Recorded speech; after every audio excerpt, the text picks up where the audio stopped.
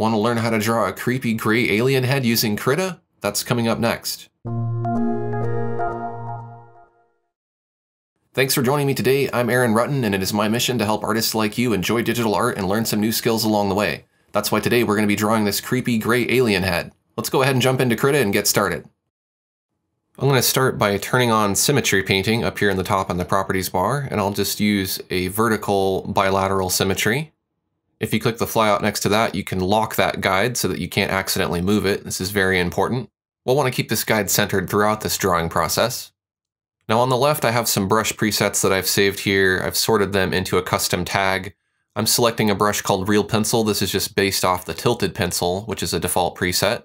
And this will allow you to tilt your pencil so you can draw with the side of your pencil like you would with a real pencil. You can do this only if your tablet and pen support pen tilt. So let's go ahead and sketch the head. I'm using a dark gray or a black color here, and I'll just sketch in a circle like this. It's going to appear on both sides of the symmetry plane. I have the symmetry plane hidden because I find it distracting, but you could keep it visible. We'll go ahead and just flatten off the sides of the head, and then we'll draw a jawline. You could have the jawline shaped however you like. I think I'll have it be a little bit rounded like this. I want this to look humanoid, but not exactly like a human. And then I'll go ahead and round the top of the head and just make it nice and smooth. We can change all this stuff later as we're drawing.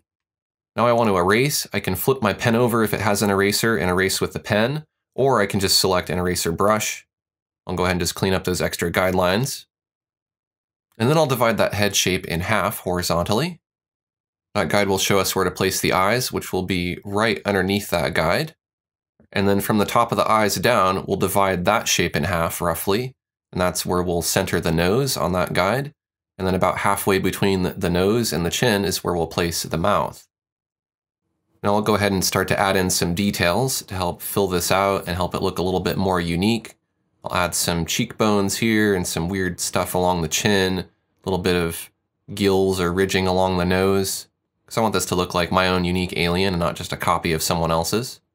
I'm going to do a little bit of shading using the side of my pencil to get a broader mark and using lighter pressure to get a lighter mark or heavier pressure and building it up to get a more opaque, darker mark. Can even use my eraser here and there if I need to. Another alternative to erasing and redrawing is just to sculpt your face using the distortion brushes.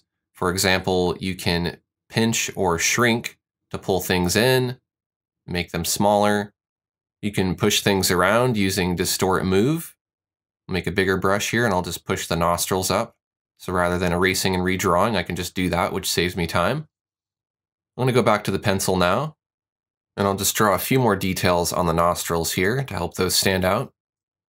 Next I'll switch to Distort Grow, and this is going to inflate the pixels or enlarge them. So I could use that to enlarge the eyes. We can see how that looks.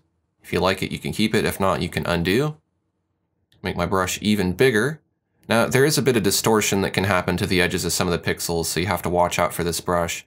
If you use a really large brush, it can also get really slow and laggy.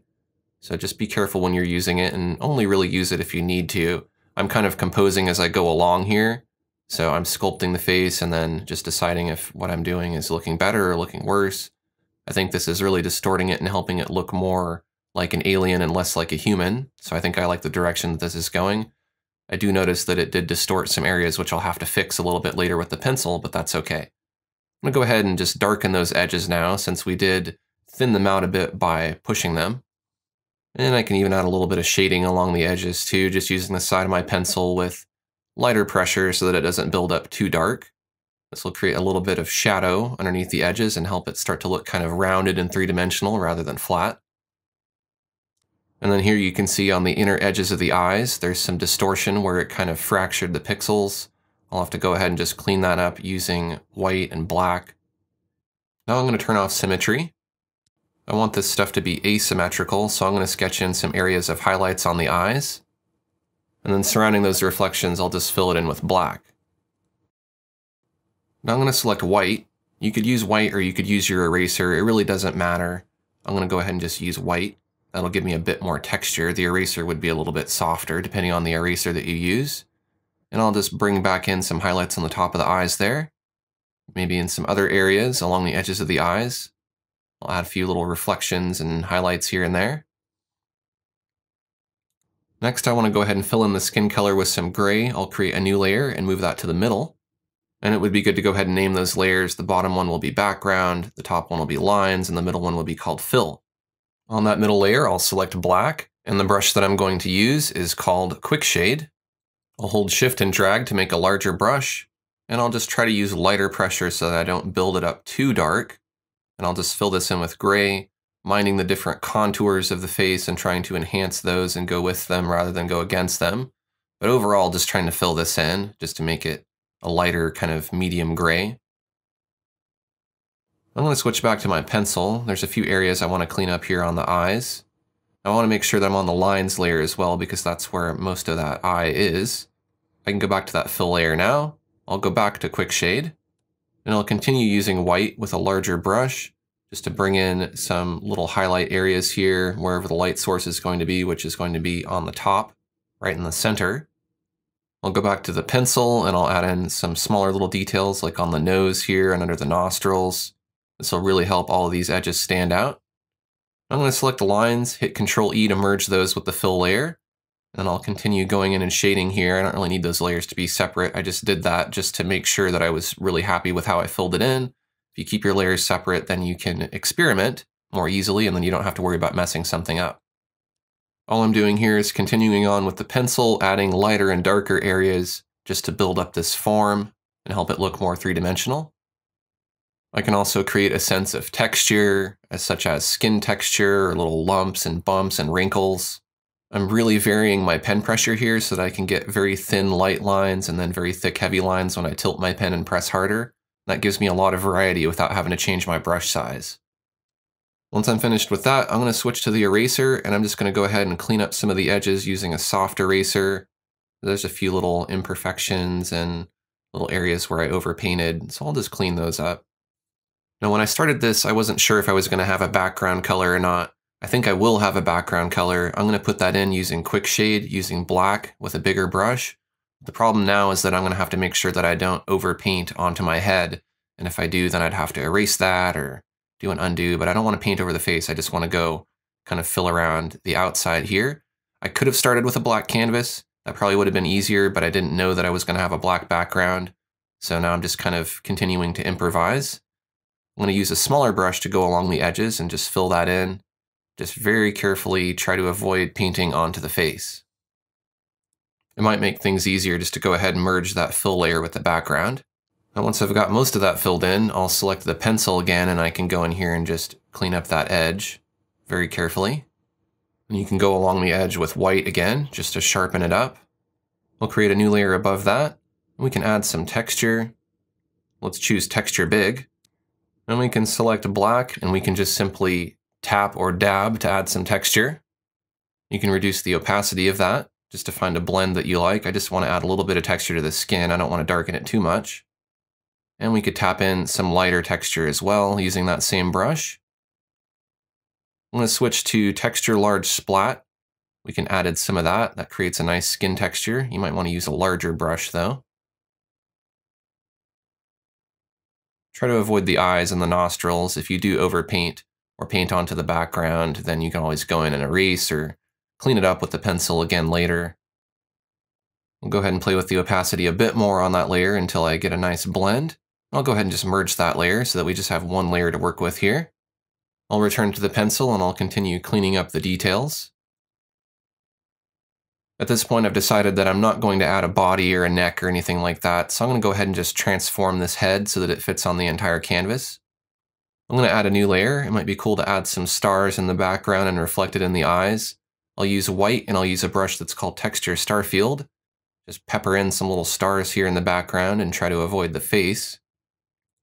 We can, however, put a few in the eyes because those will be reflected. I'll go ahead and just select the pencil and I'll put in some bigger stars. I'll try to keep my pen upright so that I don't make them too oblong. But it's okay if they're a little bit off because that could be light emanating from them or something. If you really wanted to, you could use a brush that's more round to put these in, but they're in the background, so I don't really care. I'll have a few reflected in the eyes here that are brighter, and I'll try to repeat that pattern of the stars so that it looks like it's the same reflection. I'll also add a bit more brightness to the top of the head because that's where the light source is closest. Next, I'm going to distort using grow and shrink to reshape the head a little bit more. And I know I'm jumping around a bit here, but I'll go back to cleaning up some of the details, just adding little fine areas of light and dark. It's kind of hard to describe what I'm doing at this point because it really is just kind of adding to it until you're more happy with how it looks. I'm going to add some more distortions to the face now. Adding a bit of asymmetry to the eyes and the mouth just really helps give it kind of a facial expression. You may notice that I made an accidental mark over there on the right side of the face. I'll have to fix that later. But I'll just continue on adding more little details and just cleaning things up and fixing any mistakes I see. I'll add a scar above the eyebrow and add some bumps and lumps to the face just to give it more character. And this next step is sort of optional. I'm going to experiment with blending a little bit, and I'm just going to use a soft blender. This is just one of the standard blenders that I tweaked a little bit. And it may take away from that pencil look, it may enhance it, it depends really on how you use it. I feel like it takes away a little bit, so eventually I'm probably going to have to go back in here and maybe add a bit more texture in. But it is kind of softening some of the edges that are a bit too sharp and smoothing some things together that I wasn't too happy with when I shaded, so it kind of helps the piece, but it can also kind of hurt it, so you have to be careful with the blender so you don't take away all your detail. And at this point, I'm just trying to add to it until I'm satisfied or I get bored of working on it, whichever comes first. So I'm getting really near the end here, just looking for the last few things I can add to this to help it look a little bit better. I don't really want to put too much time into this particular piece, so I think I'm done with it. I can go ahead and go to Save As and save a copy as a Krita file, and then if I want to export it, I can export it as a PNG or whatever other file format I want to. And with that, we have a finished drawing of a gray alien head done in Krita. If you're interested in more digital art tutorials like this, make sure to subscribe to my channel and enable notifications. Thanks for watching, and I'll see you next time.